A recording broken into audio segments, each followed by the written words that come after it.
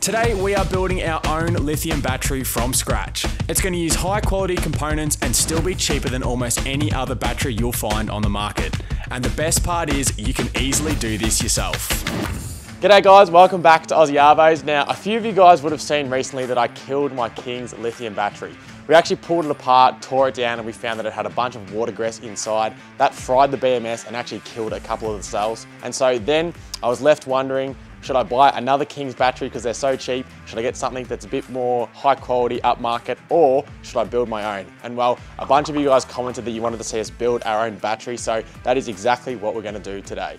Now, before I run through all of the components I'm using, I want you guys to keep in mind that the idea with this is to reuse the King's battery case. It's a sleek style, it fits right up under the tray where all my cabling is already run to, and not to mention it would have cost a bit extra to find another case. Now, another objective of building this battery is to build a battery that is almost the same price as what I originally paid for this one, but is actually far better in quality and the components inside. Now, when I was looking into building a lithium battery, it actually seemed like a bit of a daunting task, but the more research I did, the easier I found it would actually be. And what you can see here on the table is literally everything we need to build this lithium battery. Now, our first component is our battery cells themselves. Now, these are our four prismatic cells. Now, you remember when we tore this down, this battery actually contained pouch cells, and the difference there is that these actually have a hard casing, they're much more durable, and they're a lot easier to connect up in series as well if you're doing it yourself. Now, these are the lithium cells that I've bought. These are an Eve branded lithium battery cell, and Eve is actually a Chinese battery manufacturer. And when I was reading through all the forums, doing research for this project, everyone recommended I use Eve branded cells because they're known for their high quality batteries. Now, I actually managed to get these from a shop that's based in Queensland. It was just an online store, and honestly, at the time, me and Patrick were a bit sus on whether we're actually gonna get them to our door or not. But for $360 for the four cells, and that's to our door delivered, we were pretty happy. Now, these cells specifically are 105 amp hour at 3.2 volts, which when we wire all four in series will give us 105 amp hours at 12 volt, which is actually five more amps than what we had out of our King's battery. Now these cells are actually are grade A lithium cells, which means they're the closest to the manufacturing parameters of the battery. And this means that you're gonna have better performance for longer. Now it's important to use grade A cells because sometimes when you get your old cheapo battery, they can often use B grade cells, which can be slightly out of tolerance, or they may even be secondhand and they're just simply not gonna work or last as long. So the idea behind this is to get years and years of good performance while being at a very similar price or cheaper to similar spec batteries that are just coming off the shelf. Now, in order to actually make these cells usable so we can charge and discharge them, we have to use a battery management system. Now, just like the cells, we've gone for a quality BMS. Now, this is actually a Daly BMS. We got it for $60 on eBay, and I was actually recommended this particular BMS by a friend as well as many forums online as they're great for these kind of DIY projects. This particular BMS is a 4S 12 volt 100 amp, meaning it's to suit four cells wired in series and is good for 100 amps of discharge. Now, a great feature of this particular BMS is that it's actually completely sealed and waterproof, which means when we have it in our case, if the case does get punctured or gets water inside, the BMS will continue to work and keep our cells safe, unlike the last BMS that was in there that died. Now, as for our last few little components here, Next, we have our bus bars, which is for connecting our four cells in series, and these actually came with the cells, which is super handy. And lastly, I've also gone and bought some epoxy insulation sheets. These are super cheap off eBay, about 25 bucks, and these are used for when you're assembling the battery to add an extra layer of insulation between the cells. So with all our components ready to go, let's start building our battery. Now, our first step is to connect our cells in series. Now, there's a couple ways you can sort of do this depending on how you want your battery to fit or the space that it needs to take up. Now, generally, this bat these cells, I suppose, are designed to be connected in series in the formation they're currently in. That's only limited by the bus bars that it's been sent with, so they're the right width to span between the cells in this formation. But in order to fit in my casing, I'm actually gonna have to orientate them like this in order to keep its slimline profile. Now this was actually a big point of consideration when deciding what cells I was going to buy because I had to make sure that they'd all fit inside this casing and I could still connect them all correctly in series. If you're not limited by the casing that they need to fit into, they're actually a lot bigger batteries you can fit in such a small amount of space. So that's why I'm still only running like a 105 amp hour battery because I needed to fit in this case. Now to get the battery to work in the particular configuration that I wanted, I've had to create some of my own bus bars just to join the terminals. Now the ones that it come with are only long enough to orient the battery all side by side like so. So I've just made some longer ones which will bridge the gap like that and then it'll all fit together nicely. All right, now the next thing, so now I know I've got my bus bars sorted. Next, I'm gonna start figuring out what sheets I've got to cut in order to separate everything correctly. They're pretty much, I reckon I could pretty much cut a sheet down the middle and have uh, two sheets there like. All right, completely encased. So with our insulation all done around each cell, all faces protected, uh, next I'm gonna stick the bus bars on and just make sure that all the cells are sitting happy where they need to be before we go and secure them together. So these individual cells have a capacity of 105 amp hours at 3.2 volts. So in order to get that to our 12 volt battery, we need to wire these in series so that we'll end up with a 12 volt battery, still with a capacity of 105 amp hours. If you were to connect these in parallel, you'd end up with a 420 amp hour battery, but at a nominal voltage of 3.2 volts. So we don't want that. So we're gonna be connecting them in series, which means our positive terminal goes to our negative terminal of the next cell. So I'm gonna treat these cells as cell one, two, three, and four, which will be important when we connect up our BMS. So starting with our bus bars, we can just, for now, get our screws, and with any luck, these should all fit together nicely. So I've got the bus bars connected and just as a little test, if we test one individual cell, we should have a voltage of 3.2 volts, just as we hoped.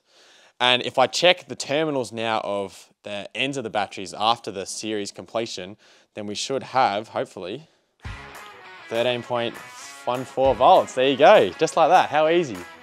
This, is, this seems too easy. It does seem too easy.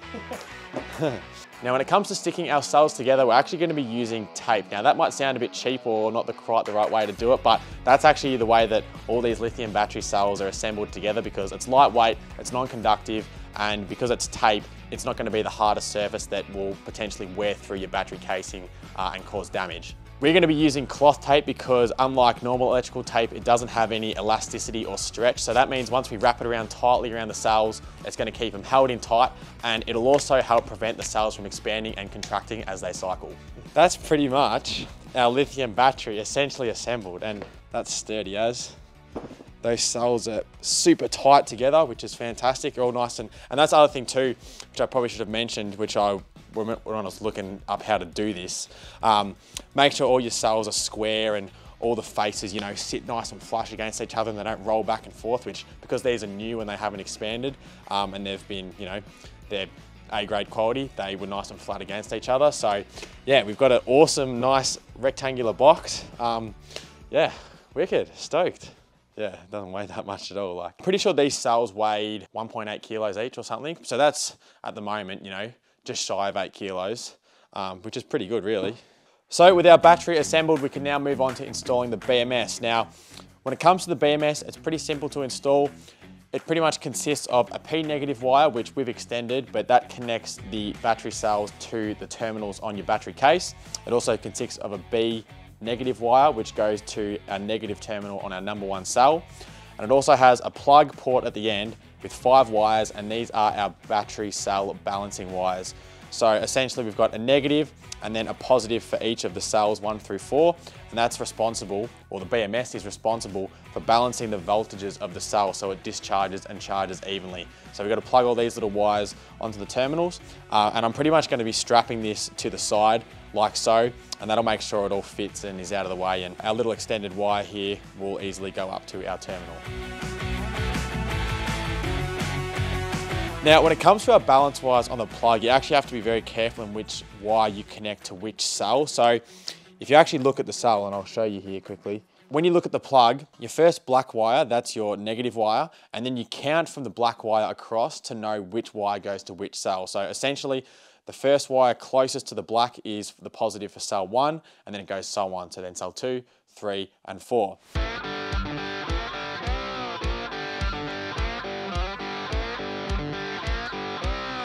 Right. I mean, that should be a working lithium battery. We're all connected. We've got all our balancing wires connected. We've got our made positive and negative, which will now just connect to our case terminals. I'm gonna put a bit more insulation on the top of top and bottom, and then we can give it a test run. We'll get the car up here and we'll plug it in and see if it'll accept charge and discharge. If I bought a battery and it looked like that, I'd probably be pretty happy. Now, well, yeah, maybe that looks a tiny bit dodgy, but now that I know what, now I've pulled apart one, I know what the, the bottom of the barrel looks like. so I think in comparison, this is looks pretty good. All right, so before we go and package up our battery in its case for the last time, we have to make sure that it is working properly. So I've brought the Patrol up, I've got the terminals free, so we're literally just gonna dummy it up on some blocks, connect it all, and then we can run the car, draw off it, make sure that it's charging correctly. And the way we're gonna be able to monitor that is through the Victron Smart Shunt. So if it is receiving charge, it's gonna tell me how much current's coming in or out. And hopefully, with any luck, it should all work properly. So let's bang it in there and see how we go. How have we got a voltage in the cab to begin with? 13.3 volts, that's a good start. so the first test is to see if the battery charges. Now usually these lithium cells are stored at around 50% um, capacity for safety and it, it's good for the health of the cell. So there should definitely be some space for us to charge into it. So I guess this is just the moment of truth, Paddy.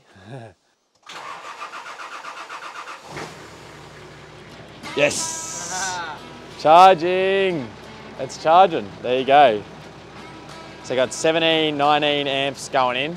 Oh, that's a good start anyway. So it charges. So I just got the canopy wired up. We're gonna check that it's working by running some lights. So I think the fridge is going too, but if I turn the lights on, there you go, four and a half amps coming off the battery. So I'm pretty confident in saying that it's all working properly, which is awesome. So that means we can stick it in the box, wrap it up, and then we can stick it under the car.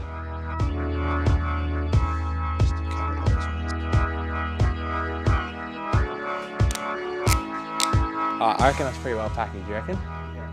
All right, so we've got the battery all pretty much neatly packaged and we're pretty much ready to drop it into our battery case. Now, obviously, because this is a heck of a lot smaller than the casing, we need something to sort of pack it out so that it can't move and jiggle around inside. So we've got some high density, you know, solid foam from some of, just some packaging from some parts and stuff we've had in.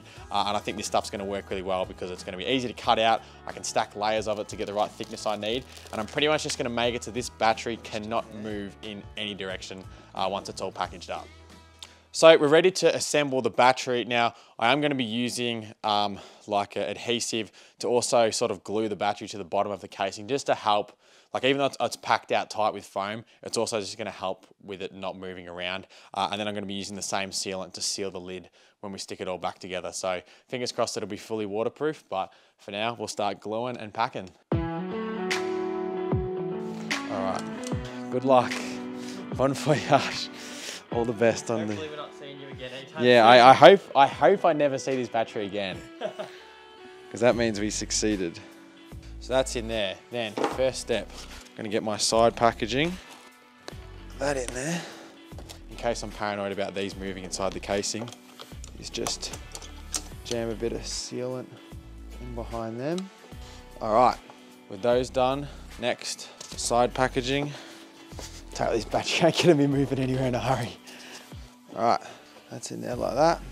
I know this may not look the neatest, but at the end of the day, it's the inside of a battery, so. It's also worth mentioning that I've tried to leave a bit of room around the BMS just for heat dissipation.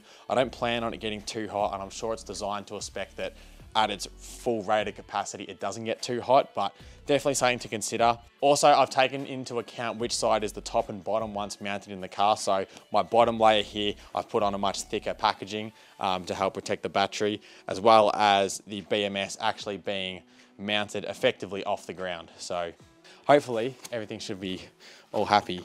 Like, think there's not moving an inch. All right, next we can connect our main leads to the terminals and then pack out the top. And then we got to run a bead of silicone all around the inside here, all around the inside here, seal it together and say goodbye.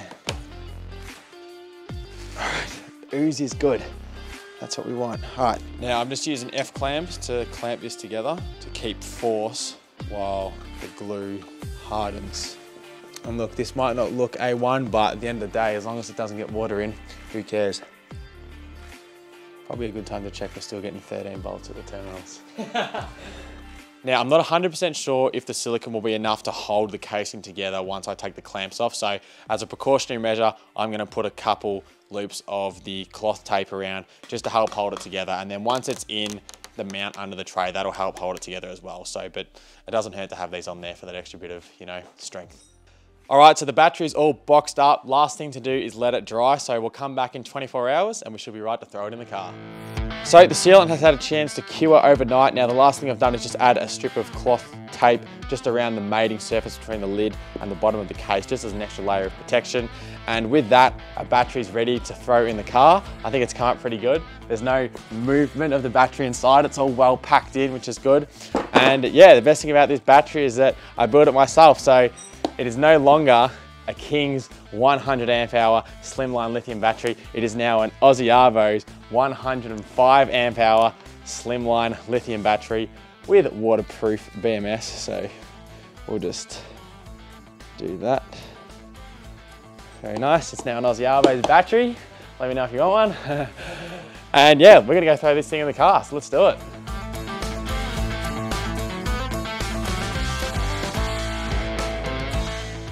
All right, so it's been a couple weeks since we put the lithium battery under the patrol and we're back now in central New South Wales and we've been testing it out for the last week or so and I can safely say so far that it has been working awesome. I've been doing a variety of things with the battery, such as running the inverter to charge uh, the Katana batteries for the chainsaw. Uh, we've had the jaffle iron running off it as well on the inverter, drawing like, you know, 85, 90 amps off of it and it's all been sweet, haven't had an issue, as well as running all the usual appliances. So the fridge has been running non-stop the whole time. Lights have been going and worth noting too, while I was at the full drive show, the car was parked for about four days with the fridge running the whole time.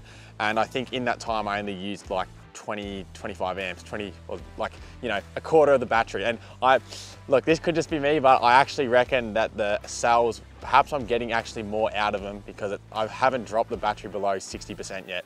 So it's been running really well and yeah, super stoked. And if anything does end up going funky with it, you guys will be the first ones to know. So yeah, we'll just have to keep and see how it goes with all the stuff I put it through.